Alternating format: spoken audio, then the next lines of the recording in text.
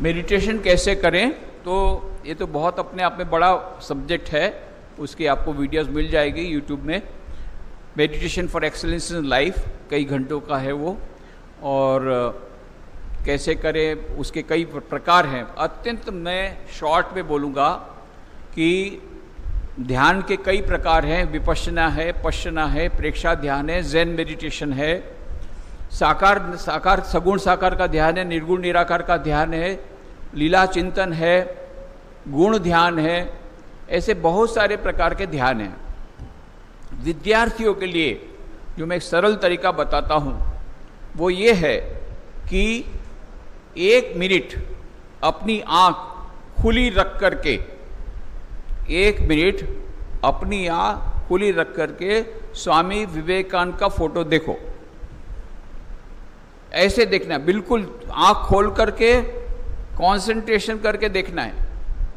बिल्कुल देखते रहना है, एक मिनट के लिए। स्वामी विवेकानंद का फ़ोटो।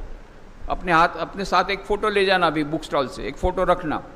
एक मिनट के लिए फ़ोटो देखा स्वामी विवेकानंद का। फिर क्या करना? आँख बंद करो। उसी फ़ोटो को अपने हृदय में देखने का प्रयत्न करो। कितना? एक मिनट। फिर एक मिनट भी नहीं रहेगा इधर तो मन भगेगा। फिर भी करते रहो करते रहो। फिर एक मिनट से दो मिनट करो।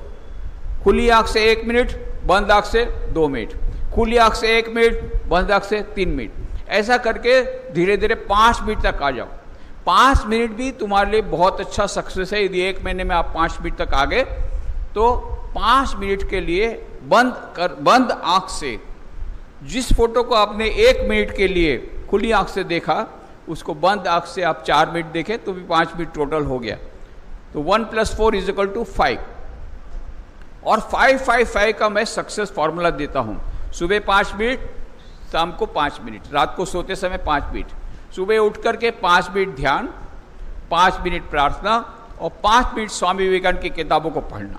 रात को सोते समय पाँच मिनट ध्यान, पाँच मिनट प्रार्थना और पाँच मिनट स्वामी विवेकानंद की किताबों को पढ़ना। ये फाइव फाइव फाइव का फॉर्मूला देखो, दो महीने के भीतर में तुम्हारा कॉन्फिडेंस लेवल बढ़ जाएगा, आत्मविश्वास बढ़ जाएगा, एकाग्रता बढ़ जाएगी, प्रत्येक क्षेत्र में सफलता मिलना शुरू हो जाएगा।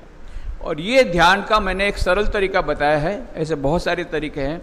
मान लो आपको स्वामी विवेकानंद के बदले आपको भगवान बुद्ध अच्छे लगते हैं। भगवान बुद्ध का फ़ोटो देखो।